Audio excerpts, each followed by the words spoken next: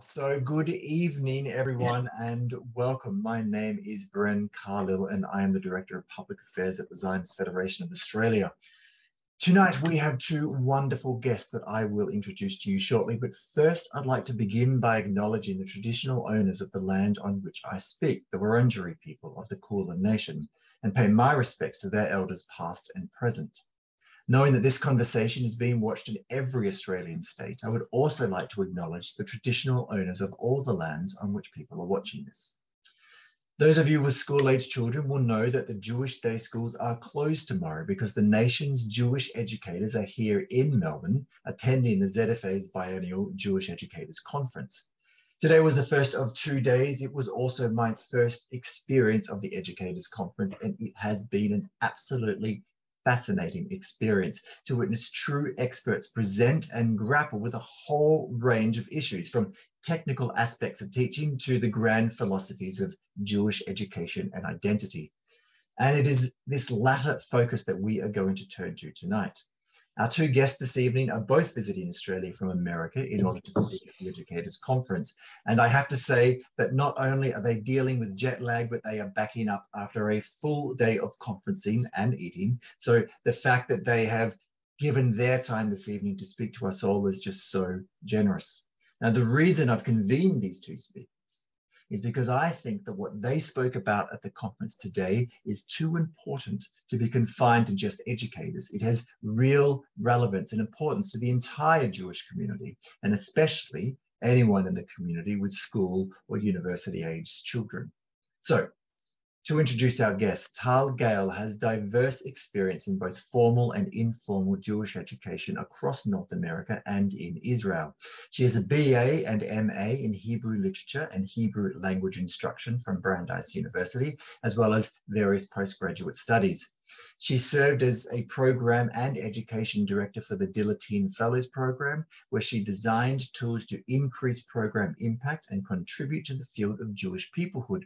And indeed, Tal's work includes publications on the topic of Jewish peoplehood and contributions to the Peoplehood Education Toolkit. In addition to her work, Tal serves on the board of directors of the Council of Hebrew Language and Culture in North America. Joining Tal this evening is Dr. Noam Weissman, the Executive Vice President of OpenDor Media. Noam is a recognized thought leader on new paradigms in Jewish education. He is the founder of Lahav, an educational initiative that provides content and technology for Jewish learning and teaching in schools and communities throughout the world.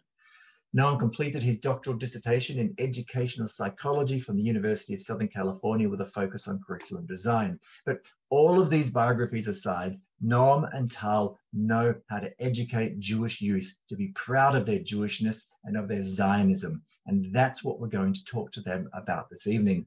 And the man who'll be doing the talking is Jeff Feldman, the CEO of UIA Victoria. So with no further ado, I am going to hand the mic over to Jeff. Thank you very much, Brian. Welcome, Tal and Noam. Um, I feel somewhat inadequate in moderating this evening's discussion, not being from an educational background, just a mere lawyer who was practicing at that and couldn't, you know, I think the, the, the phrases in my next life, I'd like to get it right. Um, but welcome to both of you. Thank you for traveling halfway around the world. Um, hopefully you bring some good weather with you next time you, you, you visit our wonderful shores.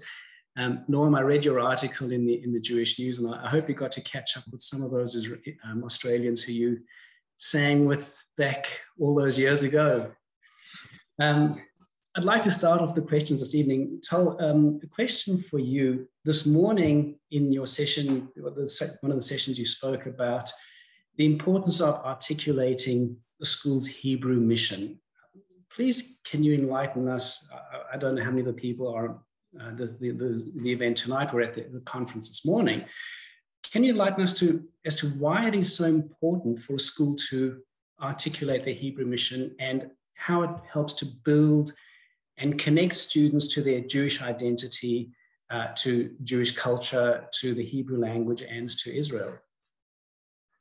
Uh, first of all, thank you, thank you, Jeff, for having us. Uh, I'm very happy to be here. Um, had a wonderful session this morning. And um, uh, it was a wonderful session because of the participants who were joining the conversation.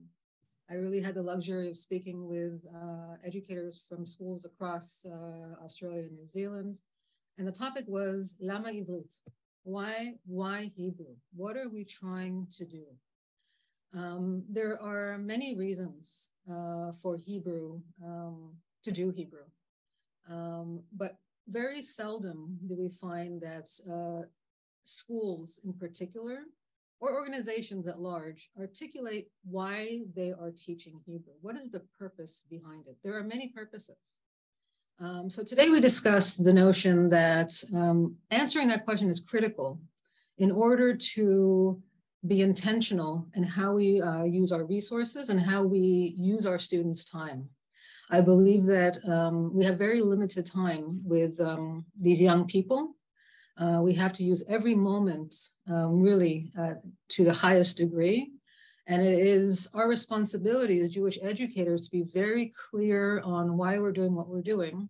I would just add one more thing. When we talk about why, why Ivrit, uh, we also discussed, you know, who has to inform the Lama Ivrit of each one of these organizations. And uh, the, the, answer was clear from, um, from the participants that if we want to really have our schools um, express um, our community, uh, the conversations about why Hebrew is relevant needs to come, of course, to the educators, to the school leaders, but we must also engage students, parents, our boards, our community leaders, um, in order to make sure that we are maximizing um, the unique place that Hebrew can really take us to. So uh, I learned a lot from this uh, session, and it was really wonderful to continue to have the conversation about uh, really how to be most intentional in our time, uh, in our precious time with your kids.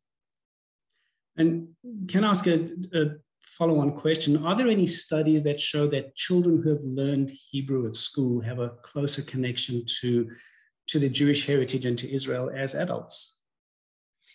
So this is it's a very good question. Um, we do know that we know we know a few things about Hebrew language. We know that level of Hebrew proficiency does impact uh, connection to Israel and Jewish identity.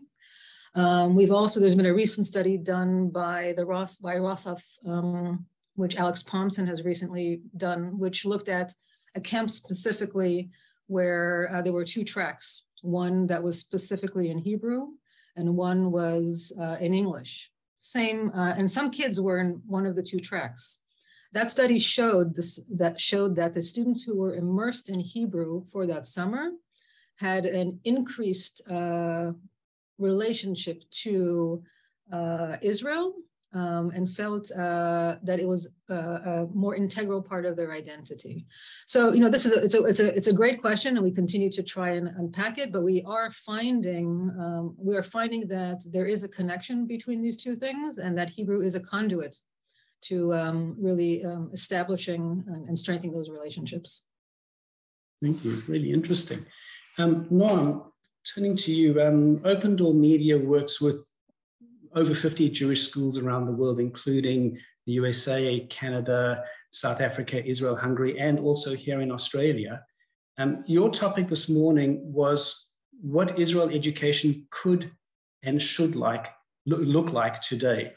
Um, what do you think, for those of us who, those of us on tonight who weren't at the at the sessions, when what do you think it should look like, and what do you see being taught in Jewish schools today?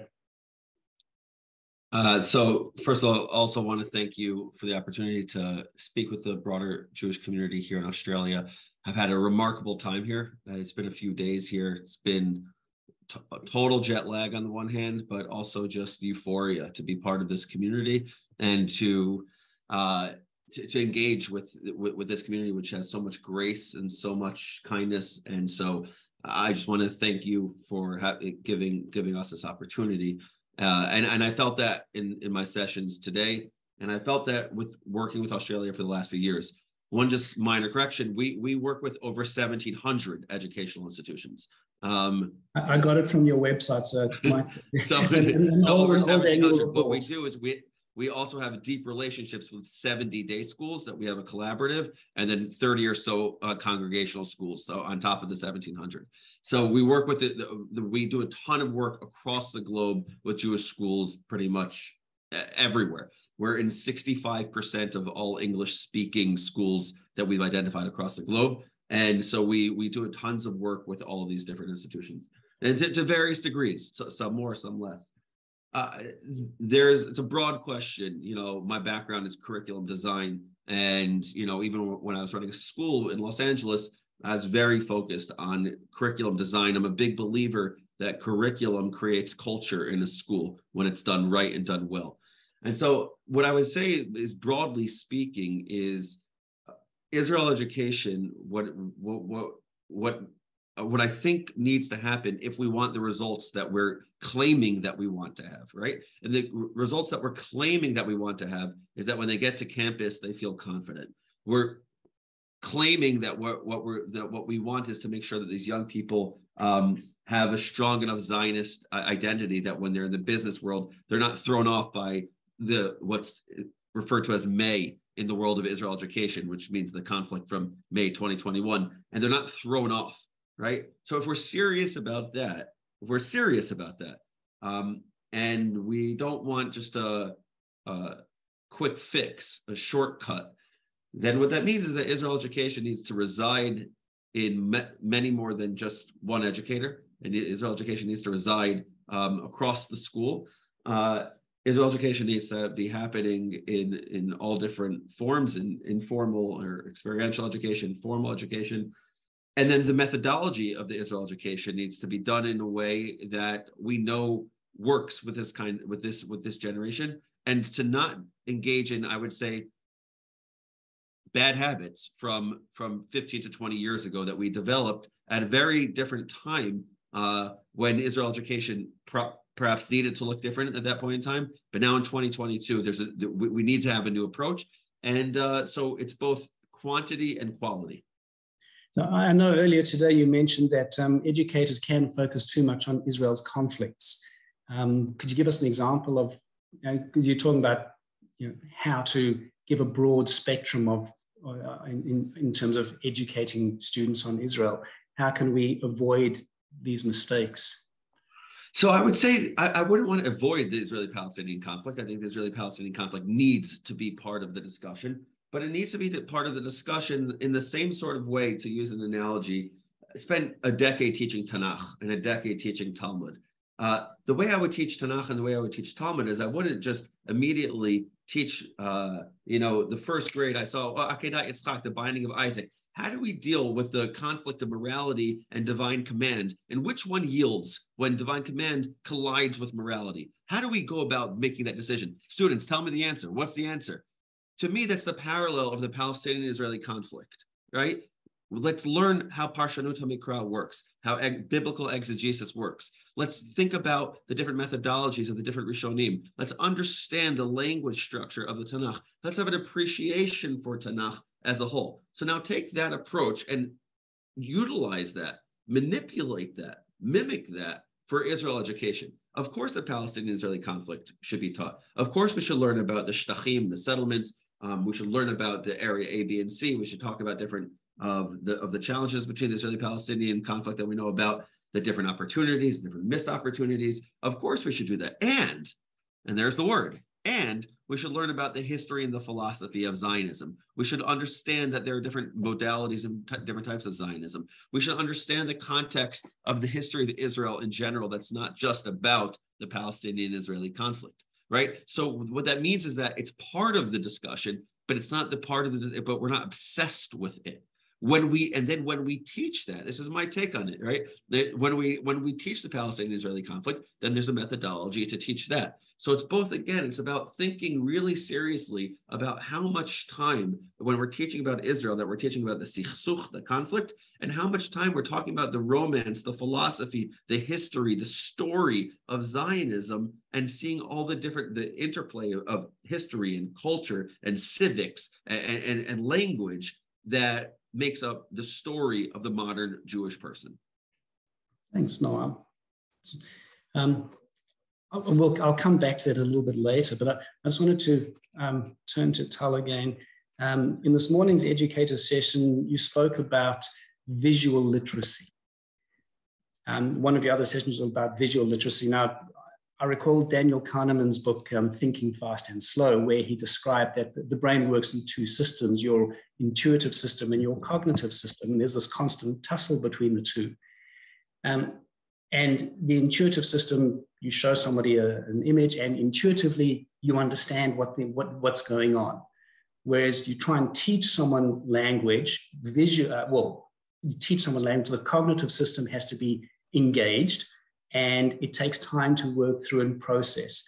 So, how do we harness teaching Hebrew visually and effectively so we get children to this to the stage where they can engage and communicate effectively in Hebrew? It's an it's an it's an excellent uh, question. Um, it was a very uh, engaging conversations with a lot of educators uh, this afternoon. Um, I think one of the questions that we were raising is, you know, what is a text? Um, and, and it also went back to uh, Lama Ivrit. You know, if, if our goal is to really um, both um, increase uh, the, the proficiency of our students, to increase the affinity to Hebrew and to infuse them in a Hebrew speaking environment, um, when we are working with students who have um, low levels of proficiency, we have to be mindful of that. Not everyone can read uh, Agnon. Not everyone um, has the facility to, um, for one reason or another, um, to, to have access to many of the sources that we uh, tend to look to uh, to build on language. The, the amazing thing about visual literacy, well, one is 90% of the information that we receive is, uh, is visual. Um, so that, that is how we actually interact in today's world. And I believe, uh, I have to look at the exact data, but um, we are receiving significantly more information than we did five, ten years ago uh, in a very different pace.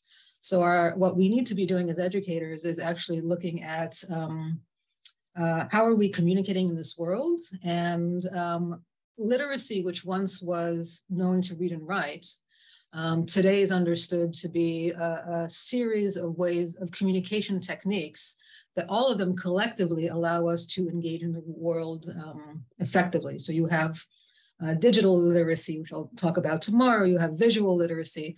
All of these are ways that we um, engage, um, and Hebrew um, should be part of that conversation. One of the things we want to make sure that we're doing is that we're not leaving Hebrew in the classroom um, that Hebrew lives within uh, that period and within those four walls.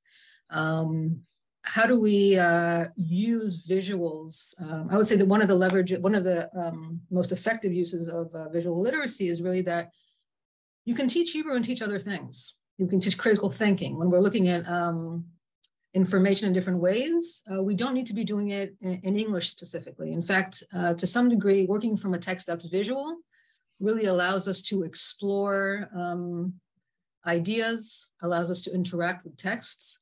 And so one of the uh, participants in today's session, uh, we, had a, we had a dialogue about, you know, can a text be something other than, does it have to be words? Um, and our, and our um, conclusion, I believe, was a text is something that you can engage with, that you can um, have a relationship with, and that you can use it to express who you are I think the, the notion of visual literacy is just to is really to expand the way we take information in. Um, it's a reflection of what's happening in our in our world today. This is how we are uh, where we are working, uh, especially uh, the young people that we are working with. Um, and it's a wonderful way, specifically in second language acquisition, to work with people who have a slightly lower level of proficiency um, to allow them to produce in the language, even though they may not have a lot of um, uh, facility in the language. So it's a wonderful way to really explore uh, language, but also culture, comparisons between cultures, um, connections between cultures. Um, there's a lot of, um, it's, it's, it's, a, it's an entry to the world. Hebrew, Hebrew is not only Hebrew, Hebrew is the world.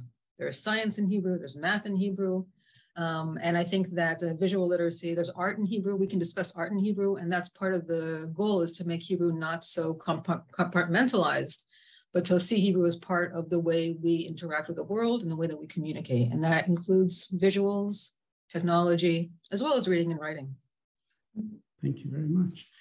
Um, yeah, I, I come from a interesting background. Um, my, my Judaism and Yiddishkeit has grown over the years. Um, and thank goodness my children have really embraced uh, um, Judaism and, and, and Yiddishkeit. Um, but you know, um, we've got a, a, comment from Maureen Rabia, connection to Judaism and Israel comes from the home. And it's something that I firmly believe that a school can only reinforce what happens in the home. A question to, to both of you, um, maybe Tal, if you could answer first, what are the most important issues facing Judaism and Jewish education globally today? That's uh, that's a big question. Uh, I, I will say I just want to comment for a minute on on Maureen. Maureen, um, uh, school is a, a, wonderful place for education, and um, it is not a replacement for what's being done in the home and the the importance of um, uh, having these conversations within within the household. I mean, it, it, this uh, parents are partners, schools are partners, um, and our students should be our focus. So I 100% agree that to do our work well, this, this is a community effort. Um, to be a Jewish parent today is uh, not a small feat, uh, and it takes a lot of time and energy. Um, and if we do it seriously, we're not uh, depending on the schools to do this for us. I, I, I 100% agree. Um, can you repeat the second, your big question one more time? um, yeah, so um, what's the, what are the most important issues facing Judaism and Jewish education globally today? I suppose let, let, yeah. let's, yeah. Judaism is, is, a far broader uh, topic than this evening, but, but Jewish education, what are the biggest challenges and the biggest issues that, that you see in there? So I think that uh, what I want to say is the fact that we're discussing challenges to me is a, a sign that we are in a good place. Um, the fact that we can look at our systems and try to see where there are weaknesses and try to strengthen them means that there's something right in the work that we're doing, that we're secure enough that we can be critical of the work that we're doing and that we can be uh, intentional. So I just want to say the fact that there are challenges and the fact that we're raising them and the fact that we're opening conversation to me is a reflection of the strength of Jewish education today. Um, that said, I would say, um, and again, I, uh, I, I come with a, a, perspective that at the end of the day, we don't need to worry. Um, in Hebrew, for I, I, don't fear, I don't fear for Hebrew. She's been with us for 4,000 years and she will continue to be with us. What we don't know, and this is where we need input. You know, I think the more what we, the more input we can get from all of us. Uh, the thought that we are a Jew, that we're a Jewish people, the more we can get those voices out there, uh, the more we can leverage the, the different aspects of Judaism, Hebrew, and anything that we bring to the table and see ourselves as one and learn from each other. Um, so I think that the biggest challenge is really to let voices be heard. Um, I think the voices that I think need the most uh, help right now are the voices of our students. Um, they have a lot of insight that I think that we could, uh, or in a direction that I think we need to be listening to. Um, and so I would say that um, just making sure that we're listening uh, and we're listening to everyone and we're looking at our work holistically. Uh, again, if Noam, you know, you know, Noam mentioned something about, you know, we need to be clear on what we want our outcomes to be. If our goal is to be a, a global Jewish people, then we need to be taking actions to make sure that that is in fact what we're doing and that we're making room at the table for all of the voices. Um, and that and that and that's not that's hard. Um, but I, I, will say that um, it is conferences like the one we're uh, participating in, you know, these two days that give me hope um, that we're in the right direction. Um, the fact that we are struggling, the fact that we are raising challenges, and the fight that we are not, uh, where we're learning. tells me that uh, we're actually a relatively secure place, knowing that uh, there's so much dedication to deal with this. Thanks. No, Noam, um, from your perspective, um, being involved with so many schools um, globally, um, challenges facing Jewish education? Yeah, that's a that's a gigantic question, and I was thrilled that Tal uh, got the to answer that first. Uh, so I, I'd say, um, you know, I could go with answers like literacy, uh, Hebrew language literacy, um, knowledge, Tanakh, Talmud. You know, the sea, the Yam Shel Talmud. It's the sea of Talmud. There's so much to learn. Uh, I would say what I really view is, and maybe this is my my bias and what I'm what I'm trying to do at OpenDor Media with all of our content on YouTube, on Spotify, and TikTok, Instagram, our films, our curricula. It, it's it's how do you because I'm trying to be like meta about what it is that we're ultimately trying to accomplish here. What are we trying to accomplish as a Jewish people? Are we or, is what we're trying to accomplish to you know I'm going to be provocative for, for for a reason here. Are we are we trying to prevent intermarriage? Is that what we're doing here? Or what are we trying to really accomplish? Is it is it is it really just about survival? Is that what we're trying to accomplish to make sure that the next generation exists? To me, that's a very unromantic way to view uh, Jewish life. It's a and, and it's and it's um and I think it it, it limits uh, what Judaism could really provide uh, for the for the Jewish world and then and the broader world. And, and what I what I think emerges is that what we really want to be accomplishing is teaching our young people how to uh, love their people without being excluding of other people. We want to teach our young people how to defend our people without um, hurting other people. We want to teach our young people uh, to care deeply about Am Yisrael and to be amazing citizens for the for the broader world and to be an Or LaGoyim. We want our young people to be particularistic and care about uh, Amiyut, Jewish peoplehood, and to be universalistic and, and know how to go out there and to be part of the broader world. I, I think that, that that for me is ultimately the goal of Jewish education. And I and I say that by the way, not just from uh, the lens of someone that grew up modern Orthodox or um, you know who's been you know, in the, the community setting very often, in reform conservative world, the Sephardic world.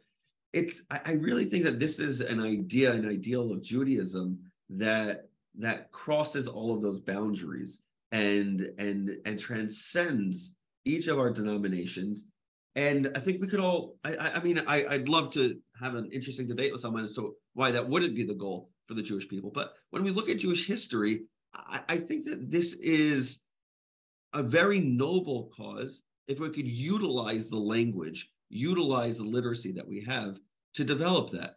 And there's a word that, that I haven't said yet, but I, but I want to say it. It's a word that in America the Jewish community is incredibly uncomfortable with. Uh, God. I, I, think that um, I, I, think that very often Jewish uh, education is more anthropocentric than it is theocentric. What, what I mean by that is we often put human beings at the center of the Jewish and religious experience, but, but God is kind of on the side. I think that we, we have to do more to, to invite God into the conversation. And, and I think that that's something that I think, regardless of which denomination or regardless of which uh, school or synagogue we all belong to, I think that we have to figure out how to invite God back into the conversation. So that those are the broader and, and develop a real relationship with God. So those uh are the broader those are the broader elements of what I think that regardless of what our backgrounds are, all of us could be utilizing the resources and the assets. Everyone can bring their assets to the table in Hebrew language, like Tal works on digital media, you know, that I and my organization work on, and we all enter this ecosystem. We bring it all together, we bring our assets to the table, and then we say, okay, now how do we have a healthy and thick Jewish identity? One that is not uh, does not suffer from an inferiority complex. And and one that does not you know you know hurt people hurt people right? So and one that that, that does not you know uh, kind of become overly defensive. And then as a result also utilize all these assets that we bring to the table to develop a real connection with the divine. I, I just want to know if you had a quick look at my questions beforehand, because that leads really beautifully into my next question. Um, and I'll just uh, introduce it with a little bit of a story. Um, a couple of years ago, my, my, I have two children, a son and a daughter. My son was um, in Israel on a gap year. My daughter was in year nine at uh, Mount Scopus. And I said to her, why don't you invite a few friends over with the Sherut Leumi girls? Um, let's give some of her friends a, a, a lovely Shabbat experience. Um, obviously, with, with, the Sharutis, it's always a, a, lot of fun having them around.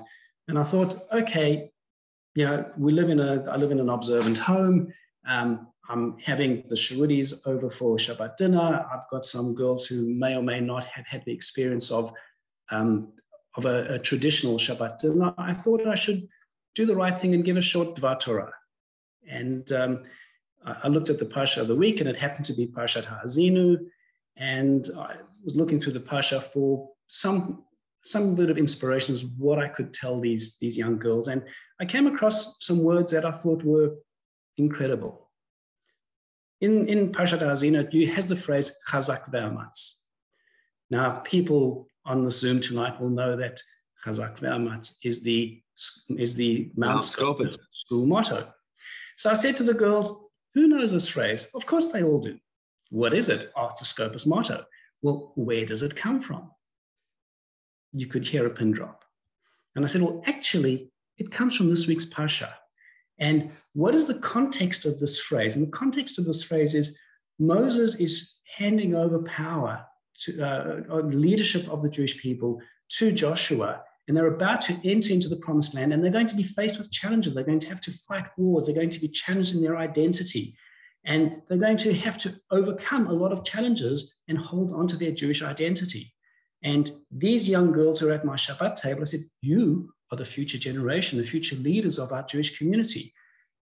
You are living in Australia, um, a fairly secular environment. It's, it's challenging for you to hold on to your identity. And in the 21st century, it's, it's a challenge to hold on to your identity as a Jew and, and, and, and your, your belief as a Jew. So, coming to the, to the question, I know it's, it's a fairly long introduction, but I have this view that the secular world has divorced many religious or spiritual rituals from their origins. You know, for many uh, in Christianity, Christmas is no longer about the birth of Jesus; it's about giving gifts. Um, my pet peeve, Halloween, and you'll forgive me because it's an American holiday that's been imported here, um, is really it, it, it's a Christian festival remembering the dead. But now it's simply about dressing up and going trick or treating and, and getting lollies and chocolates and sweets. So given that it is the Torah that has sustained Jewish civilization for so long, is there a danger that Jewish education, divorced from the Torah, risks the sustainability of the community? So, happy for either of you to answer. I know it's been a long introduction to the question, I mean, uh, this time so, I'll let Noam go first. okay. Uh, do I think that uh, Jewish education devoid of Torah learning is sustainable? Is that risks the, risks the sustainability of the community? I don't know the answer to the question. Um, I could tell you some some thoughts that I have on that. Um, looking at the last hundred or so years, I think that what we're seeing in in Medinat Israel with people like Ruth Calderon and, and others who are trying to figure out a way to provide a Jewish language that is um, deeply secular on the one hand and also deeply textual. And um, I, I, think that there's there's there's a there's religiosity with, within that. So when you when you look at, I'm going to go on a little bit of a tangent here, but I think it's it's at least a little interesting. So if it's a tangent that's interesting, I hope that's okay. The Satmar Rebbe, um, Rav Yoel Teitelbaum, was a famous anti-Zionist. Uh, um, does that make him an anti-Semite? Uh, um, no, right? But he he was a big big big anti-Zionist, famous famous for that, right? And his, I would say his primary issue with Zionism was actually something that the early Zionists would acknowledge as being true, which is that they wanted to create, like Jabotinsky said, a, a geza psychologi chadash Yehudi. They would say things like, like, like Brenner would say things like, "Anachnu ador acharon shel Yehudim, ador rishon shel Ivrim." That we were, we're the, we're the. Uh, sorry, I didn't translate the first line. The, a, a, new psychological breed of Jew, said Jabotinsky, and and um and and people like Brenner and um and um, and Berdichevsky would would really speak about um, becoming a, a, new generation of, of, shedding this old Jewish identity. And there was there was a real um, there was a real tension between the old Jew and the new Jew. And and people tend to think of Teitelbaum's issues with Zionism as being based on you know uh, Talmudic passages, whether redemption needs to precede repentance or vice versa, or the issue of the three oaths in Masechet Ketubot but broad, I think that when you actually look at Teitelbaum's issue, it's actually acknowledging something that the Zionists, early Zionists wanted, which was to shed themselves of the old Jew, of the Jew that they they were they were governed by two different realities. They were governed by the Gentile and they were governed by um, by God. And they wanted to remove both of those from from from their it was very cumbersome and they wanted to create something new and the state of Israel, I think we have to remember, is a result very much so of this early Zionist thought. And that the that the early Zionist pioneers and heroes were very much so, you know, about that. Now that's changed a lot in the last, you know, 30 to 40 years in Israeli society. But I, I, I do think it's possible that you could have a really strong um, national identity.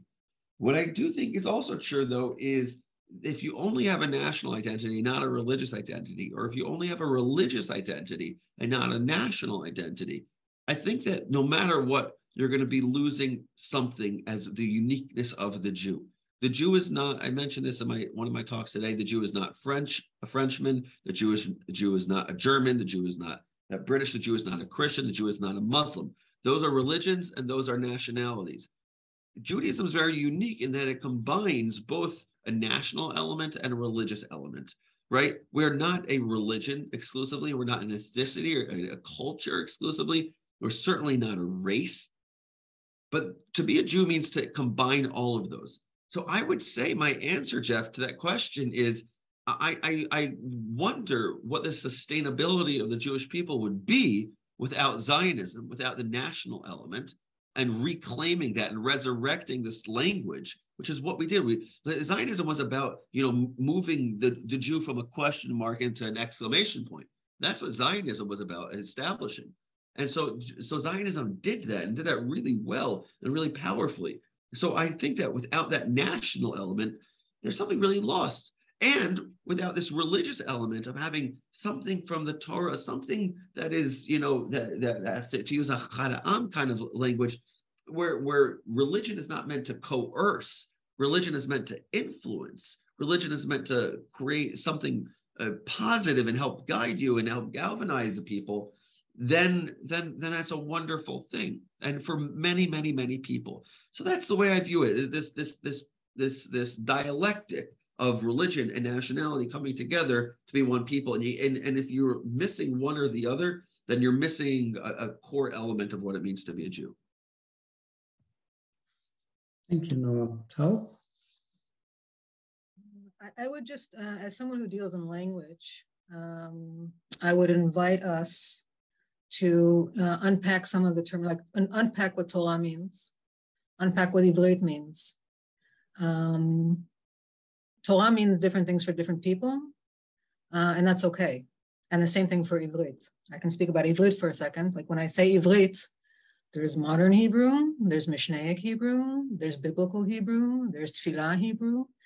Um, those are all Hebrew, and I would I would I'd like to extend that way of thinking to the Torah, uh, in the sense that the Torah belongs to everyone, and some people experience it as a uh, uh, historical document that some see it as part of their history. Some people see it as part of their the way they see the world. Some people as part of religion.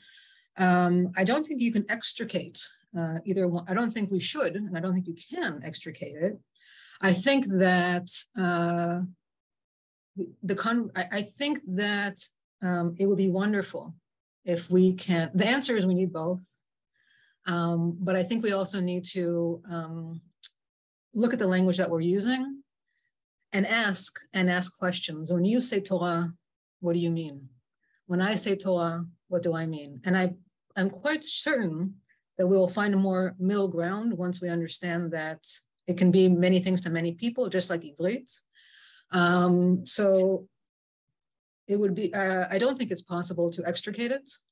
Uh, I just think we need to uh, make sure that we are looking at the, the really the breadth of, uh, of Torah in this particular instance and what it brings to the Jewish people, to all the Jewish people, and to allow people to access, much like we want people to access Hebrew from different places. Not everyone's going to connect to modern Hebrew, not everyone's going to connect to biblical Hebrew. I would say the same thing about the Torah. The Torah belongs to all of us. Um, we need to uh, we need to find those connections. I think as educators, uh, the best thing we can do is help our young people find their entry points into um, these uh, fundamental pieces of who we are as a people. So it's not Torah, yes or no. Ezo Torah, Matai Torah, when Torah. Um, and so I think that uh, yes, and we need to practice um, doing it. Thank you. Thank you. Um, I'd like to ask a little bit of a controversial question, but um, I think we, we, we all know, we all, in, in, Australia, we have a, a, view of the American Jewish community. Um, earlier this year, UIA hosted Daniel Gordis as an online speaker. And in Daniel's view, he sees Jewish identity in America today developing to something that is a politic rather than a religion.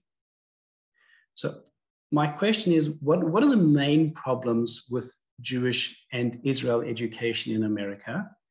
And what lessons can we in Australia learn from America to have better outcomes in Jewish education here? Noam, if um, I'm not sure, could you tell me what what Daniel means? Uh, uh, colleagues with Daniel, but I want to know what, what he meant by it's it's a politic and not a religion. What does that mean?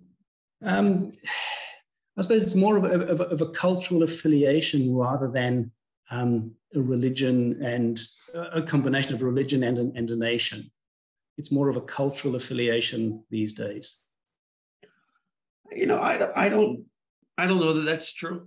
Um, I I think that um, that you know I, I I I know where Daniel's coming from by suggesting that the there is certainly within the American Jewish landscape, there's just such a broad swath of how different communities and different organizations and different schools um, cultivate their Jewish identity. So for some institutions and for some communities, they focus much more on culture or they focus more on the, the, the social justice aspect of this. You know, I don't want to give away too much, but from tomorrow's session, one of the things I'm going to be doing, here's a little commercial um, one of the things I'm going to be doing is I'm going to be looking at seven different Jewish priorities in the Jewish world and asking the the the classroom, as it were, to rank these different Jewish priorities. What matters more? Culture, Jewish identity, Jewish education, um, you know, protecting against anti-Semitism. So I, I find that when I engage people in America in this conversation, that it's not the case that people exclusively talk about tikkun olam. Maybe that's what he's referring to, or or you know, or, or, or social justice. I think that's a part of the Jewish world.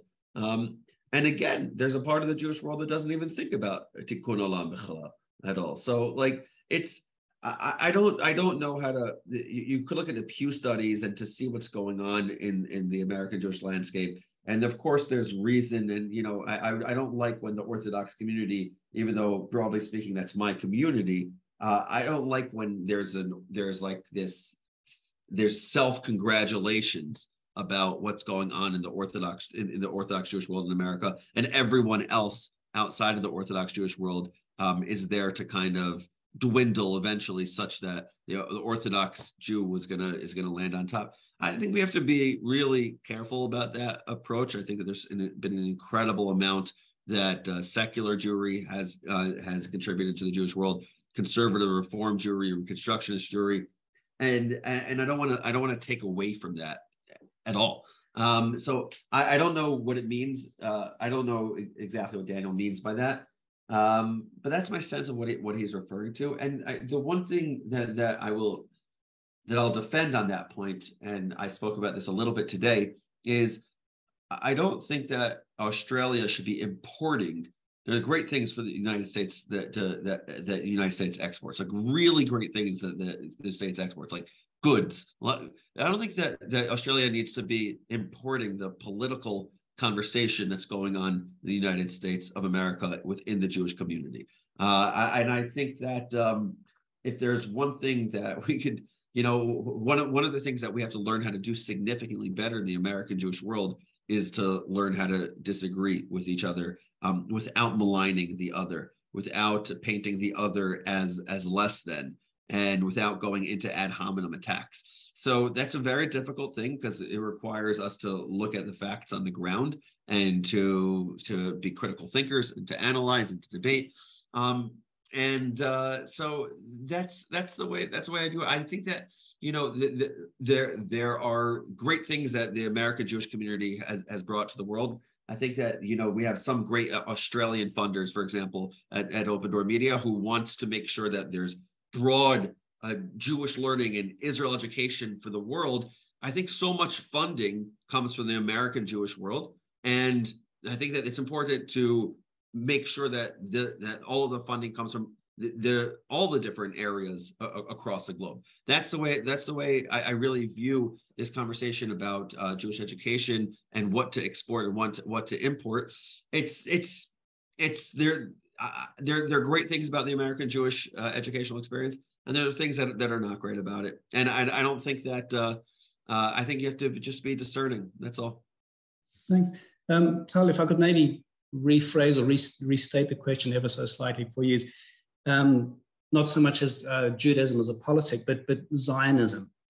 Um, w- what is it that, from your learnings, you see is creating a, a far deeper connection as, as Zionists in Australia than it does for what we understand is happening in America. Um, so two, two things. One is I appreciate I appreciate the question, and I also appreciate what, what Noam's saying, which is I think, um, and I will answer your question as well. Um, I, I, appreciate the fact that we can certainly learn from other cultures and we need to be looking outside of our world to see what are trends, what is working and where are there challenges and it's, it's critical. Uh, I also agree with Noam in the sense that um, Australian Jewry um, uh, is we want Australia to, Jewry to have a seat at the table, much like everyone else, and we want them to come as they are. Um, so I, I want to say both of those things simultaneously. Um, relationship to Israel um, is, is complicated in the United States. Um, and I am, it's, it's, it's fascinating being here and being in, you know, the fact that um, your federation is called the Zionist Federation of Australia in itself is, uh, is, is telling. Um, uh, I'm learning, again, by being uh, in, this, in this setting, um, there is a different relationship uh, to Israel. Um, uh, nationally, there's a very strong, at least from what I'm experiencing here on this conference, about a, a, a relationship to Israel that is uh, uh structured and supported nationally. Um, what American Judaism brings to the conversation is uh, both a challenge, but also uh, an interesting a question, which is what does it mean to be a Jewish people and where does Israel, uh, what is Israel's role in this conversation? Um, I think that, um, and that's a question that we're that I think we're all engaged in asking. What is, you know, where where is? There's no question that Israel is central to, to Jewish life and to the Jewish world. Um, I think there's a question about um, what is the relationship between uh, world Jewry and Israel, and what is how, how does that how does that map out? Um, I've had the the privilege of uh, studying um, with um, some experts on, on the notion of you know what is Jewish peoplehood, uh, what does it mean to be an, a global Jewish people, and and and one of the questions is you know what are the voices, you know what is the weight of the different voices that come to the table. Uh, I don't think we have an answer yet.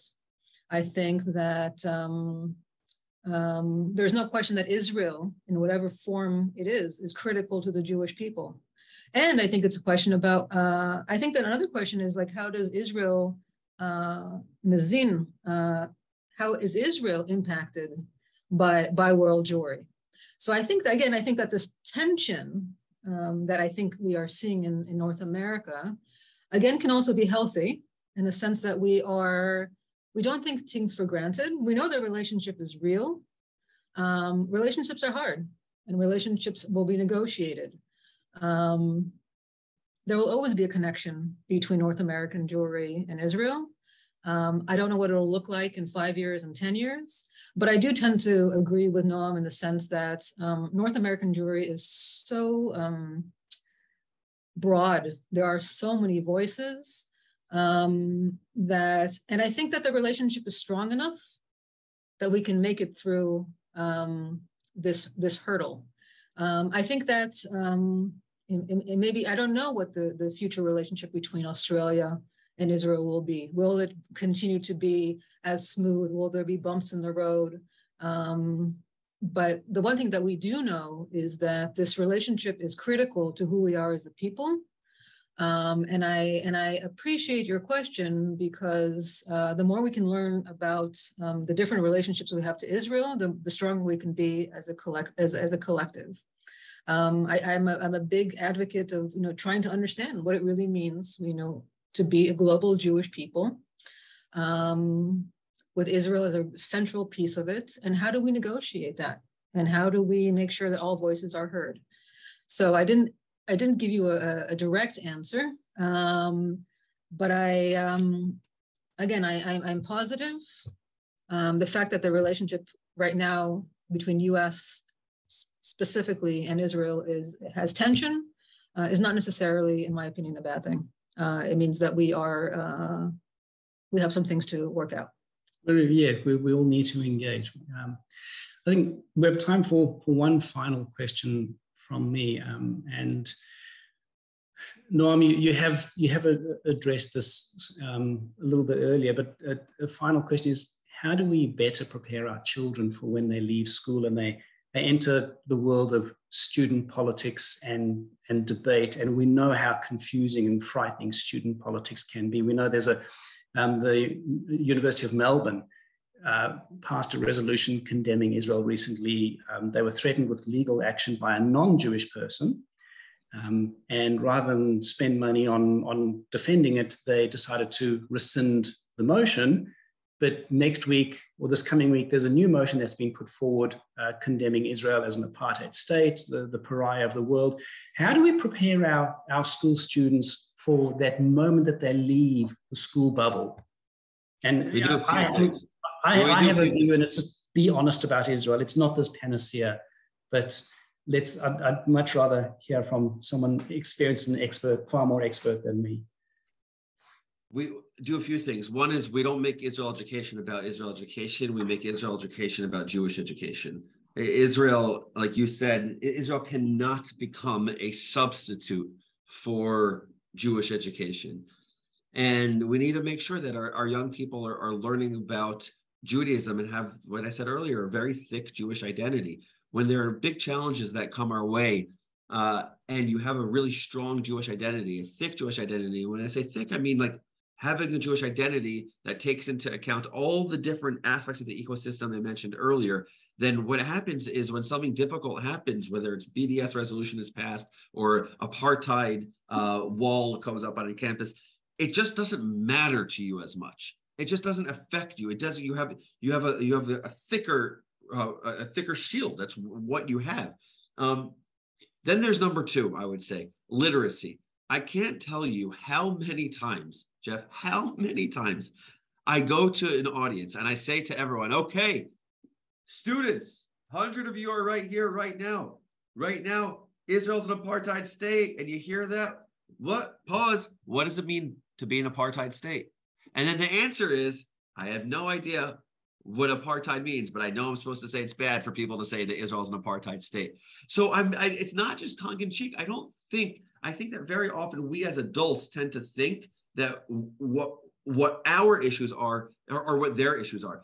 I was with a group of 150 high school teenagers this past week, right before right before I came to Australia. I was a scholar in residence at a sleepaway camp in, in, in the States.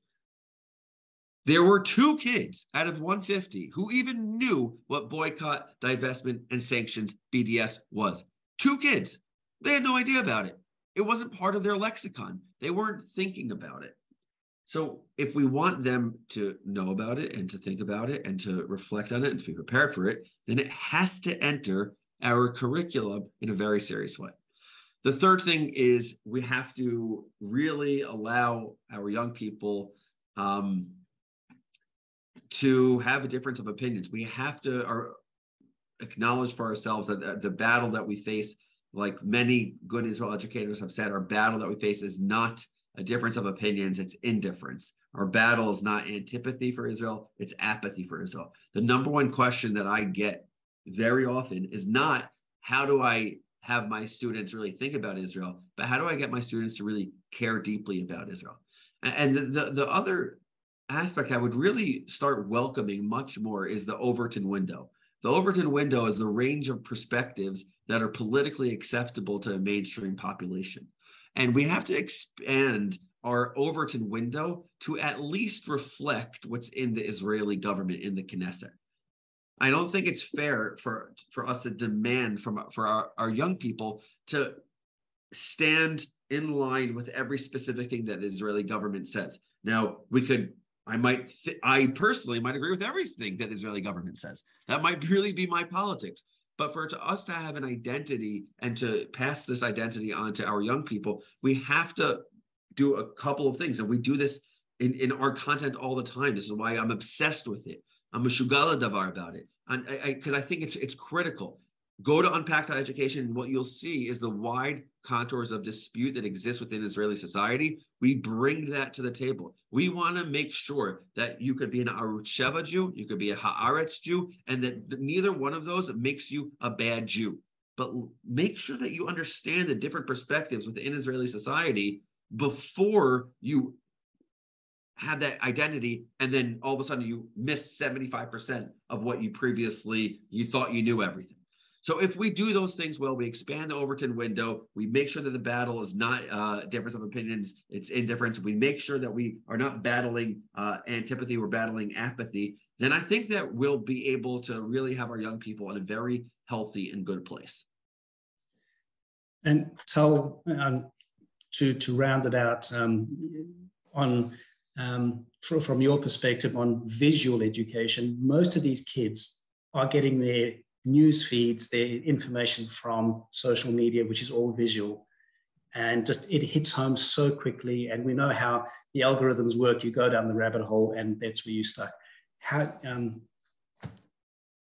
your views on combating or, or, or just educating them and bringing them a balanced view? The most, I think, I it's a very good question. Um, the most important thing I believe we can do is help our uh, young people um, become critical consumers of information and critical thinkers. And so, um, and this goes into visual literacy. You know, we're not only about, you know, what the question is uh, when you when you have information, um, what questions do you need to ask? This is very much in line with what it means to be for me to be Jewish, which is, you know, uh, where is this coming from? What is the agenda behind this? You know, we need we need to make sure that, and again, I much like Noam, um, I, I, think we um, need to trust this next generation to take us. I think that's what you said, Noam, to to the next um, to the next to the next state of where we are. I, I trust them. What we need to do is to um, help them know how to na navigate uh, information to know how to think about information, to know what questions to ask, to know what uh, vo- voids to fill with their voices. Um, we don't need to be, the, the information they're going to get, and they're going to get it from many places. What to do with the information, uh, how to process it, and then how to use their voice uh, to, to move us forward. Those are the skills that we need to develop with our young people. Um, and so investing in who they are, and you know, this is something I think you know all, all all of our work in education is how do we become you know functioning members of the 21st century. Uh, we really need to hone in on some very fundamental skills of what it means to be a productive member of society. Um, again, information is out there. Uh, we don't need to give information to young people. They have it, they can find it, it's going to find them. What we can do is help them learn to negotiate with it, struggle with it. And ultimately, my expectation is that they start to create. Um, they bring out their voice, um, having had those uh, experiences, having had that uh, opportunity to think. And that's where the hope is. Uh, again, I, uh, the, the, we can, uh, I have faith. We just need to make sure that we give them the skills so that they can bring their voice to the forefront. Uh, Thank you very much. I am going to cut in here just um, because I want to wrap things up, but I want to say how incredible that was. Um, thank you so much. I'm very lucky because I get to hear our two speakers tomorrow at the second day of the Educators Conference. For those of you who are in Melbourne, I don't think you can register anymore, but if you can, you should. It's amazing. Um, our next ZFA conversation will be on the 18th of September. I will not be hosting it because I will be back in Israel for the first time in many years. So I'm thrilled by that. Um, Emily, if you're listening, you're up. Um, and uh, and we're organizing a guest. I can't announce it yet, but it's very exciting. I spoke to him for the first time the other day, and he's quite wonderful. And now let me just finish off with this.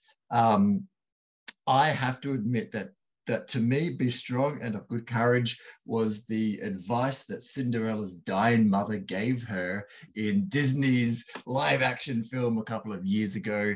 That's where I thought it came from. I was a bit surprised when I was at Mount Scopus today and saw it on their logo. And I thought, well, maybe it's not Disney, maybe it has some deeper meaning. And, uh, and here you are telling me that it actually comes from the Torah. And maybe my own Israel studies could do with a bit of work.